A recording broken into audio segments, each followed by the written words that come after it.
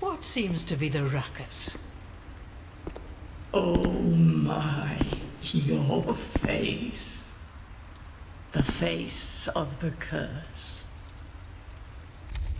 It's an undead. An undead has come to play. they all end up here. All the ones like you. You spoke to that kind old dear, didn't you?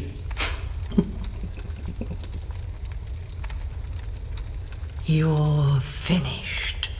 You'll go hollow.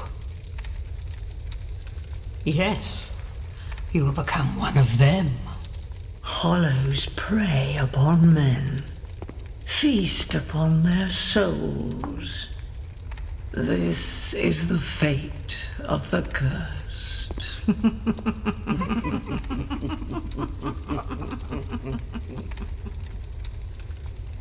What is your name?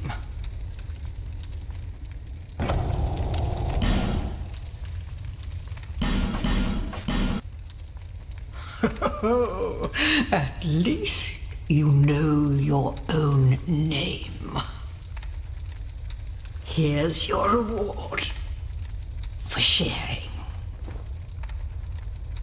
It's a human effigy. Take a closer look. Who do you think it's supposed to be? Think back, deep into your past. Yes, it's an effigy of you.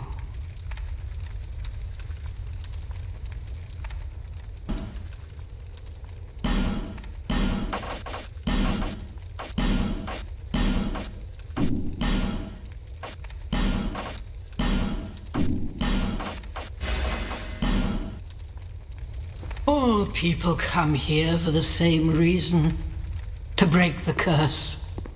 You're no different, I should think. Hmm, doesn't stand a chance. Well, you never know.